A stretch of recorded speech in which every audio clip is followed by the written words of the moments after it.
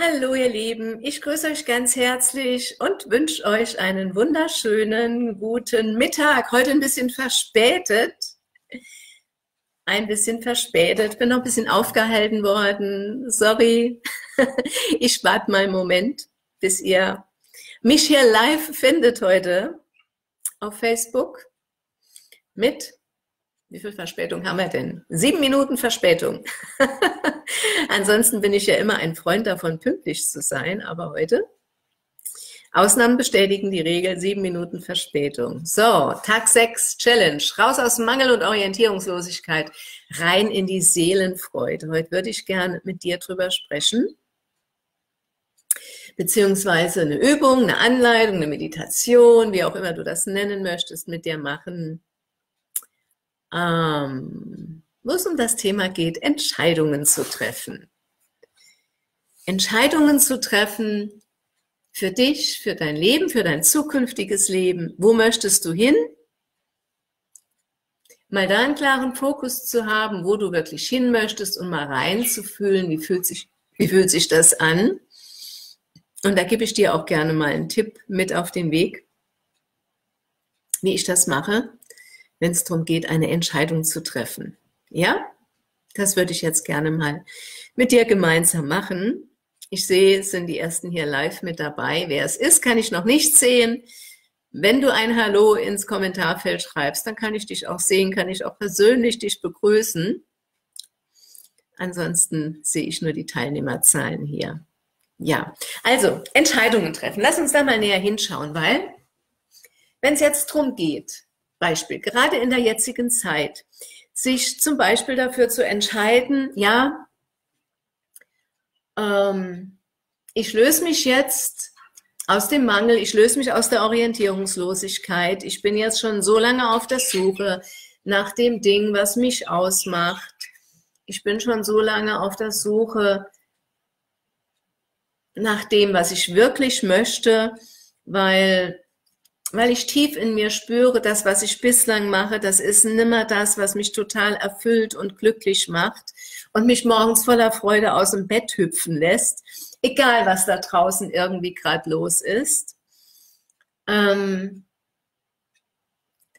dann kann man sich mit diesen Gedanken lange beschäftigen und lange diesen Gedanken weiter hegen und pflegen. Oder man kann auch einfach mal eine Entscheidung treffen, ich gehe jetzt dafür. Ich schaue mir jetzt mal genau an, was das eine Ding ist, was mich wirklich ausmacht, warum ich mal hierher gekommen bin. Und schau mal genau hin, meine Talente, meine Begabungen, meine Vielseitigkeit, die packe ich da mit rein, sodass das ein wunderbares Ganzes ergibt. Und daraus, und damit zeige ich mich da draußen am Markt, sprich, Daraus kreiere ich meinen Seelenberuf, stelle den auf ein stabiles Fundament und starte damit dann eben da draußen auch durch. Und da geht es einfach darum, sich dafür zu entscheiden oder weiter. Auch das ist eine Entscheidung und da ist auch nichts falsch dran. Ich möchte es dir nur bewusst machen. Wir haben immer die, die Möglichkeit, uns für etwas zu entscheiden, also entweder dafür oder dafür. Ähm, oder eben weiter, ja, wie ich es gerne sage, natürlich auch noch Runden zu drehen, eine Schleife zu drehen. Okay? So, und da würde ich jetzt gerne mal mit dir hinschauen, so dass wir, ja, das am besten in einer kleinen Übung einfach mal machen, damit du mal so ein bisschen da reinspüren kannst, wie ich das mache. Das gebe ich dieses Tool, dieses, dieses Werkzeug, diese Technik, wie auch immer man die nennen möchte, die gebe ich dir jetzt mal gerne mit auf den Weg, okay? Bist du bereit? Dann schließen wir mal gemeinsam die Augen, nehmen eine bequeme Sitzhaltung ein, der Rücken darf möglichst gerade sein, sodass die Energie frei fließen kann, die Füße gerne nebeneinander auf dem Boden, sodass du auch Kontakt zur Mutter Erde hast, die dich nährt und trägt. Die Hände gerne mit den Handflächen nach oben gerichtet auf die Oberschenkel legen, sowie um alles Gute aufzufangen. Und dann lade ich dich dazu einmal durch den Mund einige Male tief auszuatmen.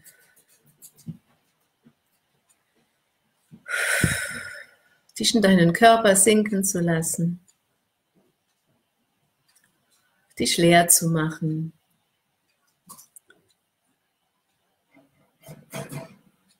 Spür mal gerne die Sitzfläche, auf der du hockst.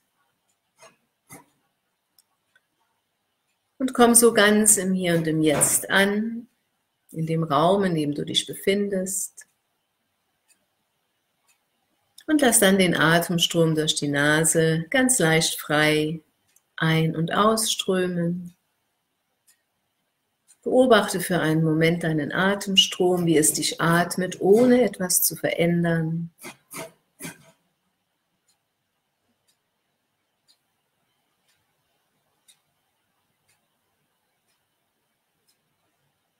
Wunderbar.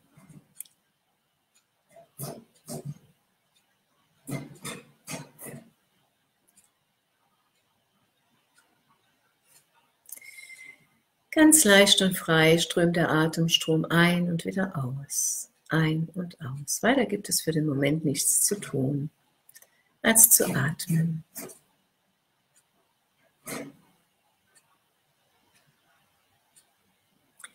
Und dann lade ich dich ein, mal in die Vorstellung hineinzugehen, wie es ist oder wie es wäre, wenn du dich jetzt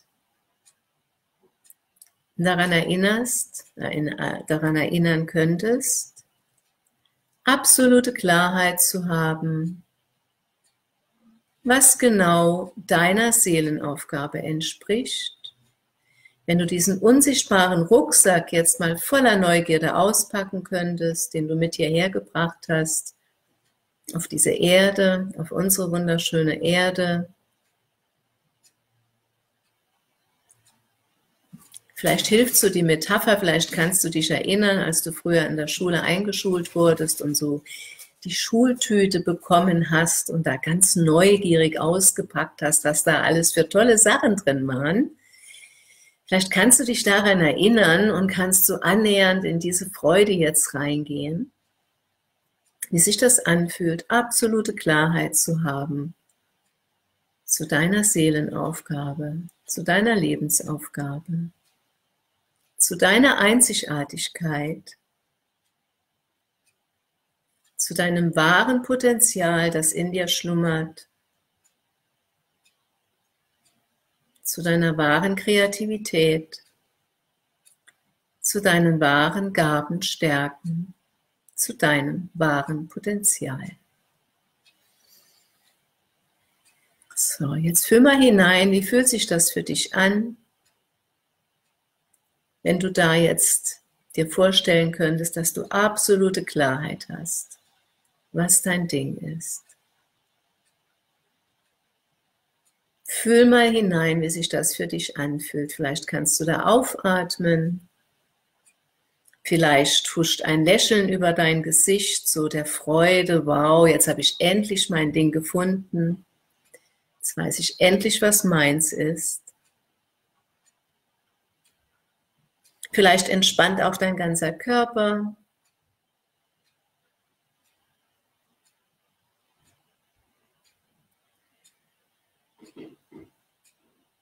Vielleicht sprudeln auch noch weitere Ideen in dein Bewusstsein, was auch immer.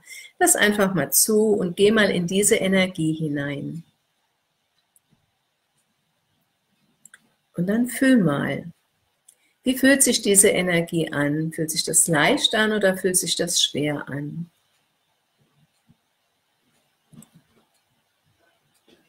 Mein kleiner Tipp am Rande, alles, was sich leicht anfühlt, ist eigentlich deine innere Wahrheit, entspricht deiner inneren Weisheit. Mag ein Indiz dafür sein, diesen leichten Weg zu gehen. Was sich schwer anfühlt, das sind Dinge, die nicht deine sind, die du übernommen hast, die du auf dich geladen hast, wann auch immer, woher auch immer sie kommen, warum auch immer sie da sind. Das bringt Schwere rein, das ist nicht wirklich deins. Dann lade ich dich mal ein, mit dieser Energie, die du gerade hast, der Vorfreude vielleicht, wie es ist, wenn du genau dein Ding entdeckt hast, das, was dich ausmacht, mit all deinen Zellen, mit allen Ebenen deines Seins, mit deinen Gaben, mit deinen Stärken, mit deinem Potenzial. Du musst jetzt nicht genau wissen, was es ist. Dir nur vorstellen, was das für ein Gefühl in dir auslöst wenn dieser Zeitpunkt da ist, dass du genau weißt, das ist mein Ding. Dann lade ich dich dazu ein, dir die Frage zu stellen, wenn du dich jetzt in diesem Moment dafür entscheidest, dafür zu gehen, dein Ding zu machen, wo stehst du dann nächstes Jahr um diese Zeit? Wo bist du dann in einem Jahr? Bist du dann den entscheidenden Schritt, den du dir vielleicht schon immer gewünscht hast, wirklich weitergekommen? Bist du dann wirklich da, wo du eigentlich stehen möchtest? Wenn du dich jetzt dafür entscheidest, heute, jetzt, die Entscheidung zu treffen und dafür zu gehen? Und wie fühlt es sich an, wenn du dich dafür entscheidest, jetzt keine wirkliche Entscheidung zu treffen, sondern so weiterzumachen wie bisher. Wie fühlt sich das für dich an? Wo stehst du dann in einem Jahr? Bist du dann in einem Jahr wirklich dort angekommen, wo du eigentlich aus ganzem Herzen hin möchtest?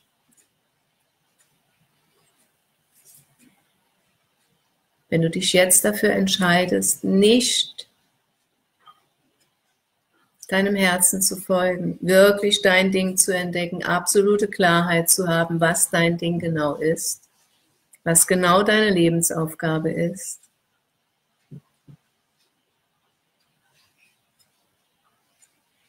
Fühl mal hinein. Was lässt dich weiter wachsen? Was lässt dich weiter zu dir, zu deinem wahren Kern kommen? Jetzt wirklich genau diesen Zeitpunkt zu nutzen, dich dafür zu entscheiden, deinen Weg zu gehen oder noch weiter zu auszuharren und zu warten. Und wenn du jetzt losgehst, wo stehst du in einem Jahr? Wie fühlt sich das an? Und wie fühlt es sich an, wenn du die Entscheidung triffst, jetzt nicht loszugehen? Wie fühlt sich das an?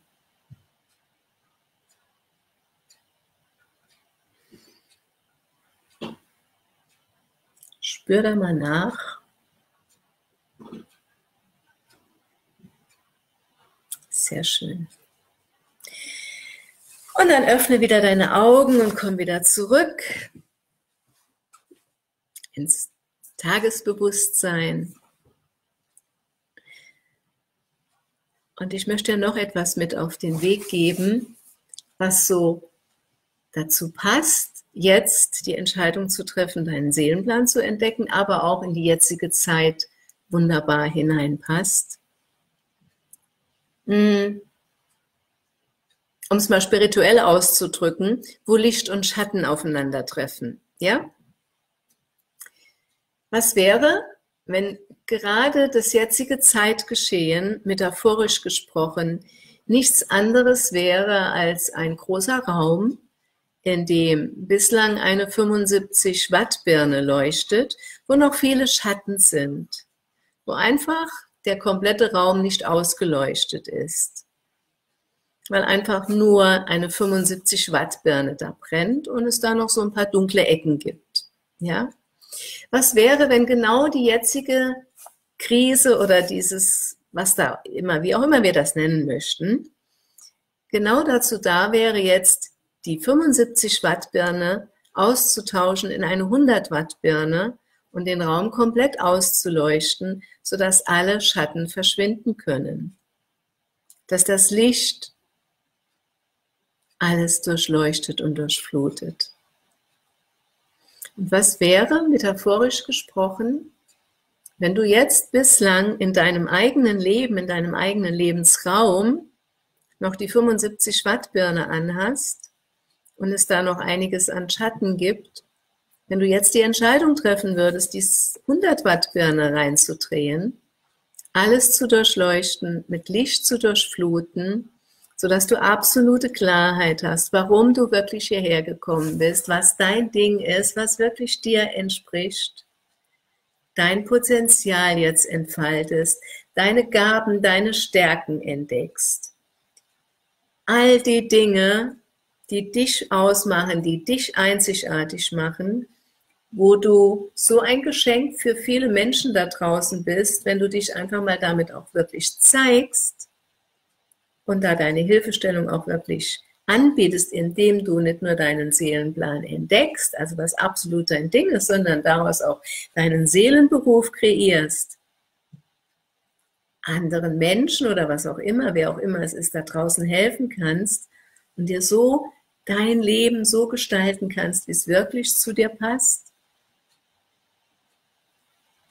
Wie fühlt sich das für dich an?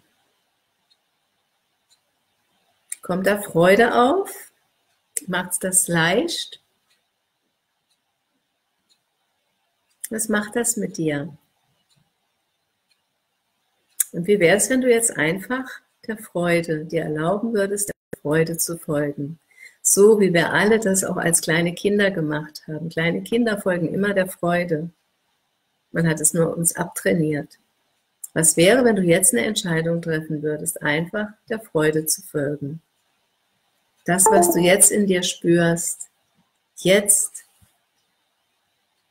dein Ding durchzuziehen, deinen Seelenplan zu entdecken, daraus deinen Seelenberuf zu kreieren, also wirklich dem Ruf deiner Seele zu folgen. Was würde das alles für dich verändern, für deine Familie, für deine Kinder, für dein gesamtes Leben? Wie würdest du da auf dein Leben zurückblicken, wenn du dich jetzt auf diesen Weg begibst? Wir haben einen freien Willen, wir haben immer die Wahl. Wir dürfen uns immer entscheiden. Und selbst wenn wir glauben, kann mich jetzt nicht entscheiden, dann haben wir uns auch entschieden. Und da ist auch weder an dem einen noch an dem anderen. Es ist nirgendwo was falsch dran. Es ist alles so, wie es ist.